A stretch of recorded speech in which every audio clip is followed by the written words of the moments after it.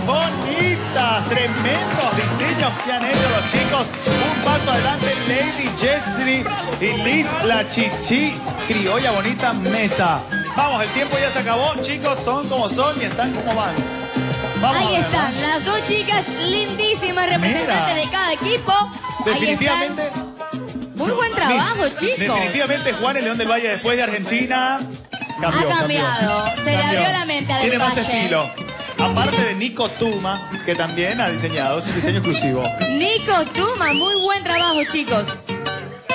Vamos a ver a Liz Mesa. Liz Mesa tiene nada más y nada menos que una hermosa, una hermosa falda, un faldón en copa, con los colores de la bandera.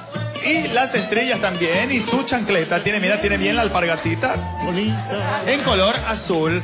Aparte, tiene una. Muy bien, tiene una flor, una flor estilo, y aparte la diadema estilo Charleston. Por acá Lady Chesley Bustamante tiene unas zapatillas lindas con una estrellita característica de Guayaquil. Tiene una falda, una falda drapeada con una rosa característica de la ciudad. Por acá tiene un corset lindo Muy bien. diseñado con... Decisión del equipo operativa y además de, operativo y además de noticias, el equipo ganador es el azul. Esto, Mitch, hemos llegado al final. Se lleva el buffet. Se lleva el equipo azul el buffet y el combate queda...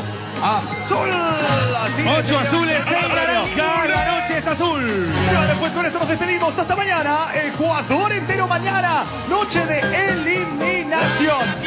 No se despeguen de la programación de RTS. Nos quedamos con la noticia y luego viene... Copa, que viva Guayaquil. Esto ¡Que fue.